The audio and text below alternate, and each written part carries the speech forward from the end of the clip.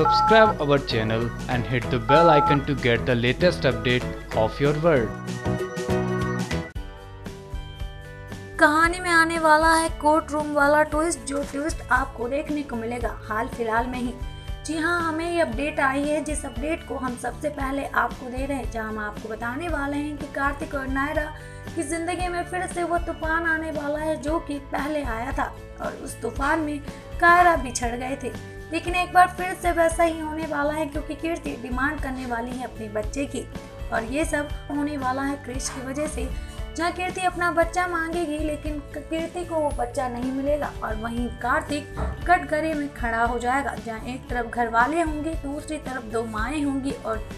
ये सब होने वाला है हाल फ़िलहाल ही। लेकिन किस तरह कार्तिक को मिलेगा इंसाफ और किस तरह वो अपने आप को जस्टिफाई करेगा घर वालों के सामने कि उसने जो कुछ भी किया है, उस वक्त उसे वही करना ठीक लगा? क्योंकि नायरा की ज़िंदगी बचाने के सिवा उस वक्त कार्तिक के दिमाग में कुछ नहीं था, क्योंकि उस वक्त तो कीर्ति कोमा में थी और कोमा में बाहर आने में कुछ वक्त लगेगा, जिसके चलते कार्तिक ने ये फैसला ले लिया था। लेकिन क्या कार्तिक के जज्बात को समझ पाएँगे घर वाले और क्या वो बहन, जो कि कार्तिक को बोल देगी कि तू आज के बाद मेरा भाई नहीं है तो क्या वो बहन समझ पाए कि एक भाई का डर, जो डर कार्तिक को दिन रात खाया रहता है तो आगे की अपडेट जानने के लिए बने रहिए हमारे साथ। और साथ ही साथ सब्सक्राइब कर लीजिए हमारा channel twenty four X seven online news newsroom की report.